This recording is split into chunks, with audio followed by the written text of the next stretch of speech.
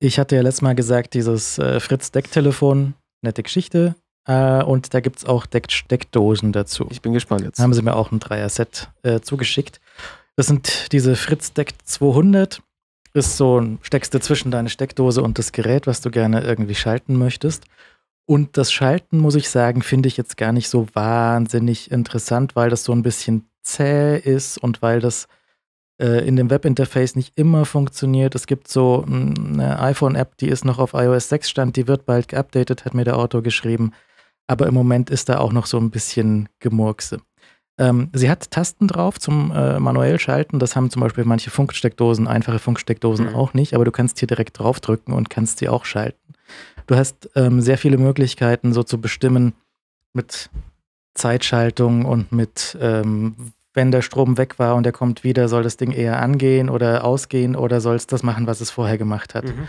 Und äh, all diese Dinge. Und das kann die auch per Telefon schalten, stand da. Du kannst sie auch mit deinem Telefon schalten. Du kannst sie mit der UI von dem Decktelefon schalten und Aha. du kannst ähm, äh, ja, also über das Webinterface und wenn du mit dem MyFritz Fernbedienungsdingsbums mhm. kannst du auch von woanders schalten. Ne?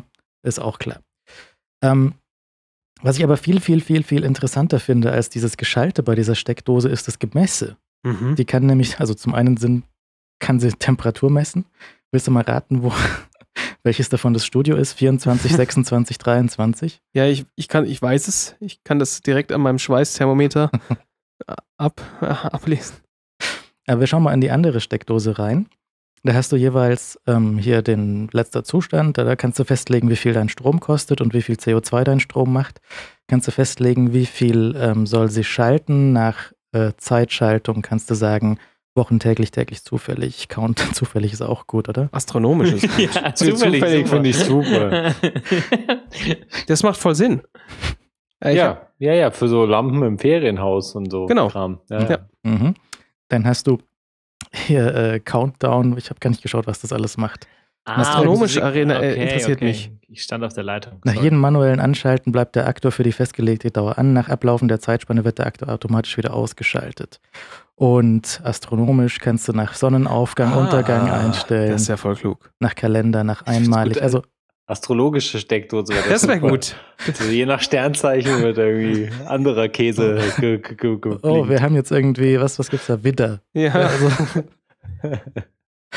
Und ähm, was auch interessant ist, wenn bei Standby, du kannst auch sagen, wenn der Standby unterschritten wird, ähm, dann mach aus. Das heißt, wenn du ein Gerät hast, was irgendwie im Standby 5 Watt zieht, dann kannst du sagen, wenn das Ding 5 Watt erreicht, mach's ganz aus. Mhm. Ja? Und dann sparst du da auch den Strom. Mhm. Und du hast in dem Ding, und das ist eigentlich das Interessanteste, finde ich, ähm, die Energieanzeige im Zeitverlauf. Das heißt, du kannst hier sagen, aktuelle Leistung. Diese Steckdose zieht gerade, so, willst mal raten, was das hier ist, hat eben noch 80 Watt gezogen und jetzt ist es runter auf 3. Das sieht aus wie ein Fernseher. Das ist natürlich ein Kühlschrank. Ah. Ich habe das mal an den Kühlschrank gehängt und der zählt auch nicht nur jetzt aktuell mit, sondern zählt auch im Zeitverlauf mit. Das heißt, du hast hier die Anzeige für 24 Stunden, für eine Woche und einen Monat. Da war er mal länger auf der Kühlschrank um 14 Uhr. da, da, hängt auch noch. Spätes Mittagessen, Herr. nee, nee, da hängt, da hängt. Zu viele Augustiner rausgenommen. Die Kaffeemaschine mit oh, dran. Ja. Ah. da gab es einen Kaffee und da kannst du hier äh, jeweils sehen, äh, wie das auch im Wochenverlauf möglicherweise so vierteltagesweise sich bewegt. Und ich finde das äh, tatsächlich höchst interessant, weil mir das zum, zum Beispiel jetzt auch hochrechnet. Das Ding wird einen Jahresverbrauch von 380 Kilowattstunden haben. Dann schaue ich mal in das Handbuch von dem Kühlschrank, da steht drin, äh, der sollte nur irgendwie 250 im Jahr verbrauchen. Okay. Dann denkt man sich, hm, irgendwas ist faul. Hm. Das ist schon mal eine Erkenntnis Zu aus viel dem Kaffee. Ding.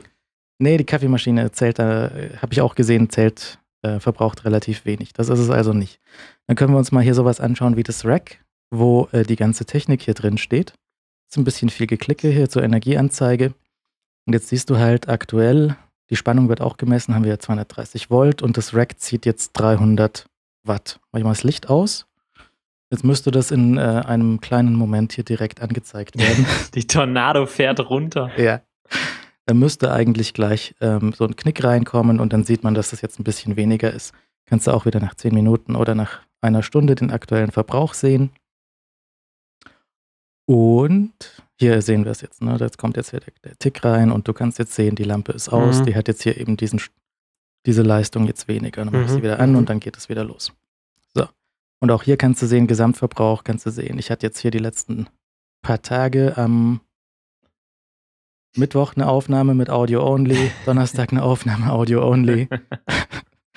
Sonntagabend. Ja, Jetzt und so. Sehr gut, sehr gut. Kostet ah, mich direkt mal zwei Kilowattstunden. Krass. Und auch hier wird hochgerechnet, was. sonst was, nie, sonst nie am Platz. sehr gut. Ja, nicht das Rack, ja, das brauche ich nur fürs, äh, fürs Audio klar, und Video. Ne? Ja, und ähm, dann, dann siehst du hier den, den Stromverbrauch. Und du siehst auch, wenn ich hier in die, in die 24 Stunden reingehe, siehst du auch, wie ich das Studio langsam hochgefahren habe. Erst mhm. nur das Rack, dann das, äh, die PCs dazu, dann das Licht dazu. Mhm. Hast du hier die, die Übersicht. Und das ist schon äh, ganz gut auch zu sehen. Und der rechnet jetzt hoch, das Rack, wenn das so weitergeht, kostet mich 35 Euro dieses Jahr. Ähm, schauen wir uns noch den dritten an. Der ist auch interessant. Der steckt nämlich ähm, dort, wo das Internet aus der Wand kommt. Und da kannst du jetzt nachschauen. Ich habe nämlich mal geguckt, was steckt denn da eigentlich an dieser Steckdose, die dort Fritzboxen, Drucker, Switch und so Zeug benutzt. Schauen wir mal eine Woche an. Habe ich gesehen, das war hier am Mittwoch, habe ich gesehen, das ist gar nicht so wenig. Das ist hochgerechnet relativ mhm. viel. Und dann habe ich mal Zeug abgesteckt, was ich nicht unbedingt brauche. Und siehe da, habe ich nur noch die Hälfte von dem Verbrauch bei dem Ding. Oh, das ist ja ordentlich. Ja, und wenn ich jetzt halt sehe, zum Beispiel mein Drucker, der frisst im Standby wie blöde Strom. Das habe ich mhm. jetzt festgestellt. Mhm. Das hätte ich auch mit einer ganz einfachen, wenn es mal 5-Euro-Steckdose feststellen können. Aber das im Zeitverlauf zu sehen, ja. ist dann ein bisschen nerviger. Definitiv, ja. ja. Und ähm, das ist so ein bisschen der Haken an, den, an, den, an diesen Fritz-Steckdosen, die relativ teuer. Die kosten so 40, 50 Euro mhm. das Stück, mhm. was zu viel ist, um jetzt das ganze Haus mit Funksteckdosen auszustatten. Ja. Aber was voll okay ist, um mal nachzumessen, wo du deinen Strom verlierst. Das, ja, das sehe ich ein. Ich habe da eine Sache gesehen, die mich jetzt interessieren würde. Das misst die Temperatur. Ja. Kann ich Temperatur abhängig schalten? Ich glaube nicht. Ich glaube, das ist schon eine Funktion für. Haben die auch irgendwas mit, mit Heizung oder sowas? Du kannst auf jeden Fall ein Temperatur-Offset eingeben. Wenn du weißt, dass deine Steckdose weit weg ist vom Heizkörper oder sowas, dann kannst mhm. du ein Offset eingeben für das, was du eigentlich gemessen hättest. Okay. Oder wenn du nachmisst und merkst, dass die Steckdose immer zwei Grad kühler ist, dann kannst du sagen, zeig mir mal zwei Grad mehr an. Okay. Ja, das geht schon. Und ich finde diese, diese, diese Stromverbrauch über, den, über die Zeit zu sehen, finde ich sehr hübsch. Mhm. Das gibt es sicher auch als einzelnes Gerät.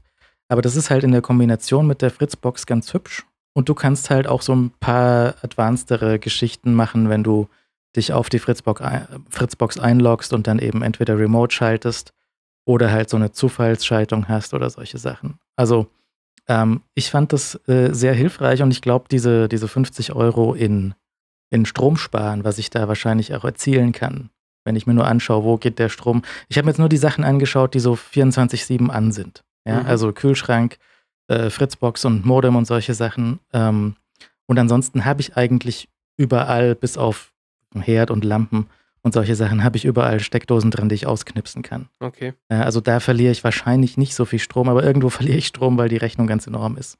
Ich finde, ich sehe gerade, man kann tatsächlich temperaturabhängig schalten. Geht auch. Okay. Finde ich, ja, das ist ja super. Das, äh, hm. Hm. Hast du das unter automatisch schalten oder?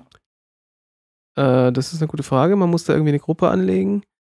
Die, äh, Achso, Gruppe habe ich nicht, aber das kann natürlich sein, ja.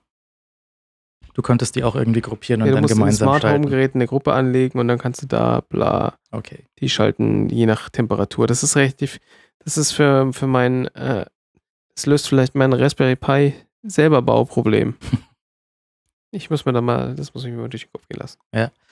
Also äh, ich fand das auf jeden Fall recht interessant. Ich dachte, das Schalten wäre die Hauptfunktion, aber tatsächlich für mich ist jetzt die Hauptfunktion mhm.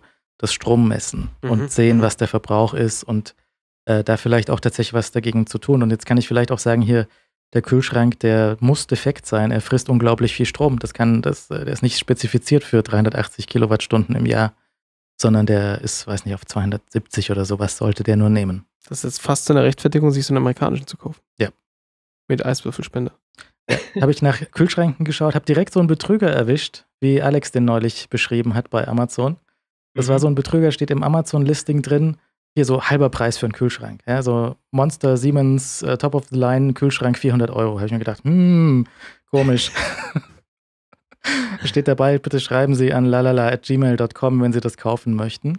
Und dann macht bevor er so, sie kaufen, bevor ja, sie kaufen. Bevor sie kaufen. Und dann kommt so eine, äh, hier, ich zock dein Geld auf PayPal oder so ab. Ja, meistens halt über Amazon. Zahl oder Amazon, Amazon Payments, ja. Aber halt, wenn du da selbst Geld überweist, ist halt wie eine Überweisung, äh, kommt es halt einfach nicht zurück. Dann gibt es halt diese Garantien nicht, die Amazon ansonsten gibt bei Geld. Ja, und dann kommt halt eine Mail von Amazon, wo drin steht, bitte überweise Geld. Dann machst du das und dann ist es weg. Dann und ist normale Überweisung halt keine Amazon ja. Garantie, Payment, Sicherheitszeug gedöns. und dann hast du gar keinen Kühlschrank und zahlst lieber weiter den teuren Strom. Ja.